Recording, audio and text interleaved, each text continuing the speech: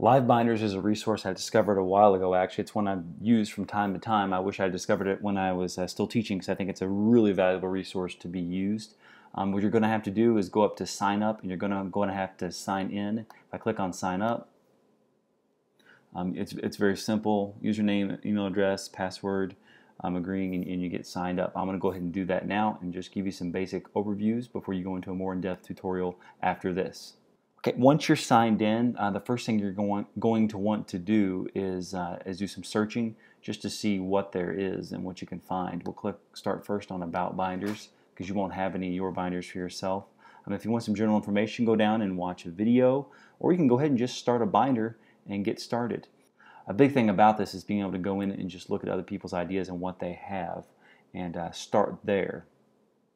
We can take a look at some featured binders that they will uh, show us. And I've done some searching already in education. You can see some categories over here where you can go in and uh, just take some time and, and, look through what's out there.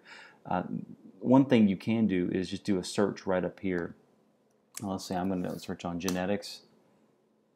Well, right here, let's say there's one I really like, biology genetics research. I've checked it out. I go down here to options and um, I can either email this, show details, embed in my blog, or present this one for myself. Now, depending on how these are set, I can go in and actually make a copy.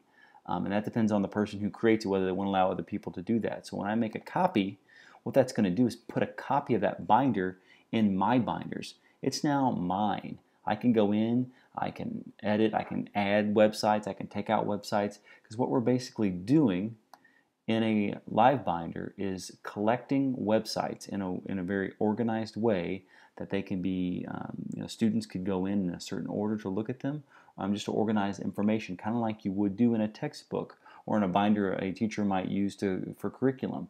The great thing about this is not only can you create these tabs, but you can go in and create subtabs inside here. Um, all you do is click on this triangle and it gives you some options as far as moving them in the order, deleting them all together or um, going and adding a new tab or adding a new sub tab.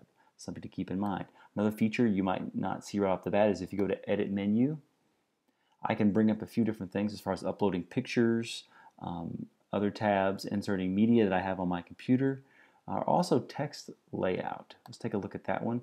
If you see down here, um, media is the website, how, it, how it's viewed. You could go in and put in your own data.